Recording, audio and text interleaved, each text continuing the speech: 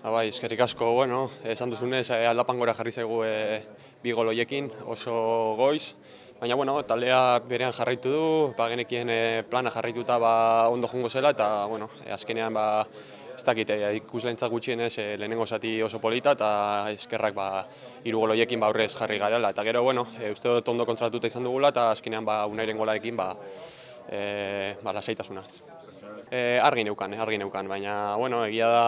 ba, suerte izan duela, e, olako ez da ba, normalen ematen bi penalti botatzia, eta, bueno, e, da, bigarren penalti horretan, ba, e, pixkat duatzen da, bataia psikologiko pixkat e, bihurtzen da, baina bueno, argi neukan horra bota behar nuela, eta beraz ba, posik ez, baita niko egin dituen penaltien gati, ba, berari ere eskerrak. Bueno, pasada bat ez, gainera, jo, izan duen moduan, e, lehenengo zati hori e, holan bi, bita bi jartzeko eta, eta bueno, e, taldeak ba,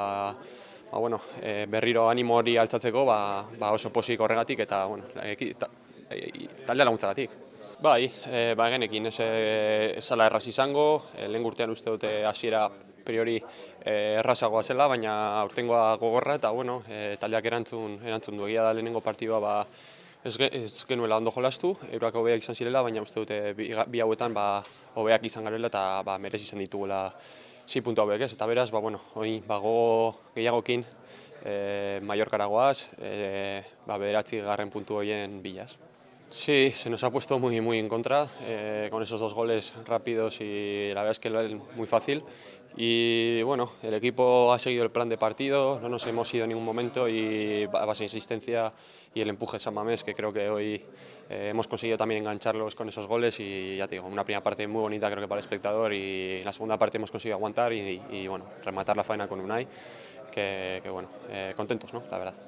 Eh, la verdad es que el primero sí que lo tenía claro, eh, no esperaba obviamente un segundo penalti y, desde luego en el momento ha dicho Iker Tialo que, que, lo vas a meter. Y lo he tenido claro también que, que iba ahí, entonces bueno, eh, contento por, por aportar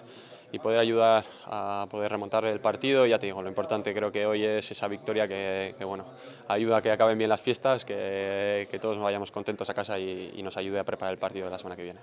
Sí, importantísimos tres puntos. Eh, ante unos rivales creo que, que, muy complicados y ya te digo, eh, nos da más fuerza si cabe para, para, ir a Mallorca, ganar y traer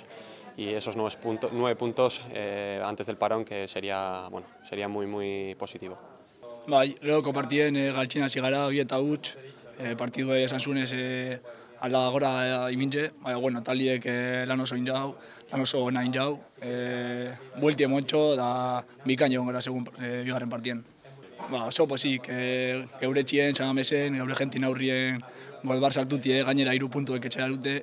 na, e, oso posik, e, gainera taliek esan dutelez lehen lan oso nahi injau, da horregaitxik, ba,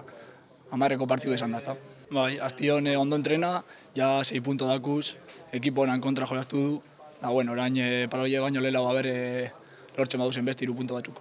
Sí, como dices, se nos, se nos ha puesto el partido jodido, ¿no? La segunda, primera parte 2-0, nada más empezó el partido, pero nada, eh, los compañeros han hecho un trabajo muy bueno, con la ayuda de la afición, en casa, darle la vuelta y nos llevamos los tres puntos. Bueno, no me lo creía, cuando he visto que se me quedaba y digo, la tengo que meter y nada, muy contento. Eh, estaba mi abuela allí, que lo ha pasado bastante mal este año, y nada, se lo dedico a ella, estoy muy contento y nada, muy feliz. Sí, esta semana entrenar bien y como he dicho, a ver si en Mallorca podemos sacar otros tres puntos y ponernos con, con nueve. Muy contentos.